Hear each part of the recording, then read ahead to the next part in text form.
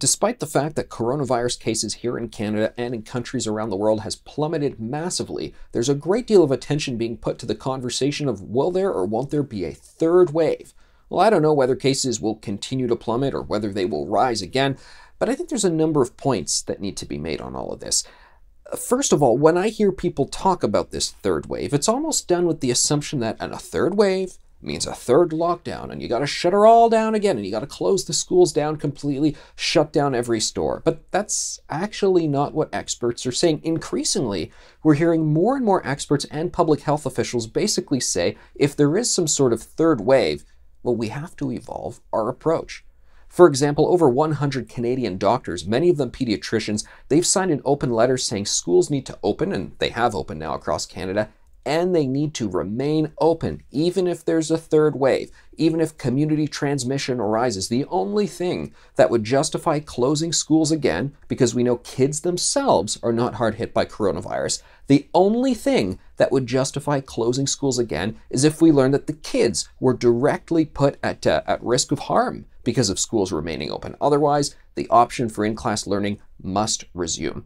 Another interesting point of evolution on this discussion, I was speaking to Dr. Karim Kurji the other day. He's York Region's Chief Medical Officer. Uh, that's a, a part of the Greater Toronto Area just north of Toronto. And he said, look, we've learned from the data that the indoor social gatherings, that's the problem. That's where transmission is occurring. Retail outlets, places like that, there's no transmission occurring in those or, or very minimal amounts. I mean, the data's always showed that.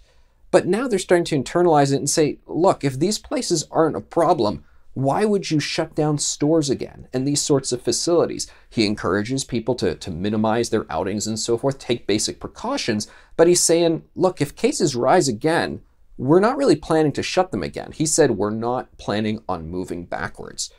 Really nice to see an attitude like that because there's some officials out there and, and, and some epidemiologists and uh, other doctor voices out there in the media who want to take as much of a doom and gloom perspective as possible. But look, we are almost a year into this. We have learned so much. And even when we did the first lockdowns, and, and by the way, that was not in the plans. I've written before about all of these emergency management plans should a pandemic come to Canada. None of them talk about widespread lockdowns, and they all actually talk about a scenario uh, that's much worse than we're facing now higher death rate and so forth, and higher uh, percentage of people getting infected. None of them say you do lockdowns. But despite all of that, the original argument for lockdowns, as we know, you know, you just flatten the curve. You do it for a bit to do that, to grab your bearings, to learn about the virus. Well, we've learned quite a lot in this past year. Can we not take what we have learned and mature our response, evolve our response?